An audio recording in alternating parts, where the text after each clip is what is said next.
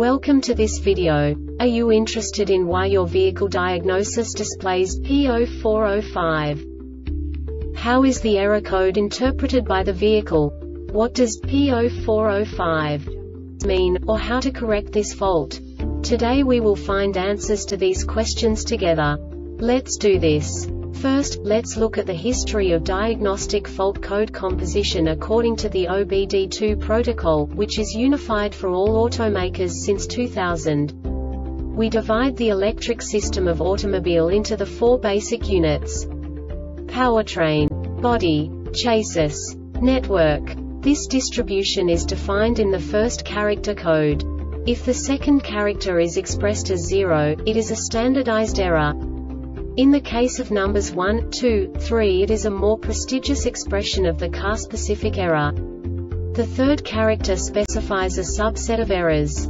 The distribution shown is valid only for the standardized DTC code.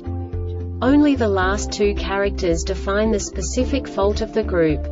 Let's not forget that such a division is valid only if the other character code is expressed by the number 0.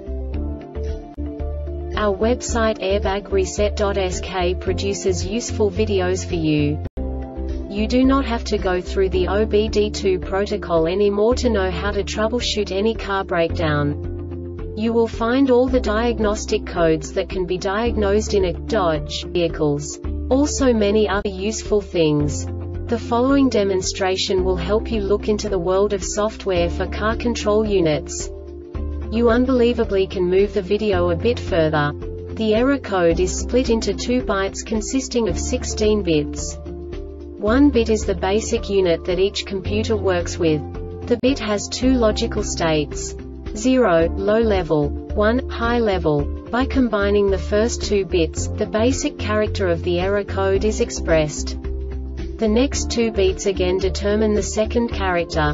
The last bit styles of the first byte define the third character of the code. The second byte is composed of a combination of 8 bits. The first 4 bits determine the fourth character of the code. And the combination of the last 4 bits defines the fifth character. A single byte conceals 256 possible combinations. We now know in what way the diagnostic tool translates the received information into a more comprehensible format. The number itself does not make sense to us if we cannot assign information about it to what it actually expresses.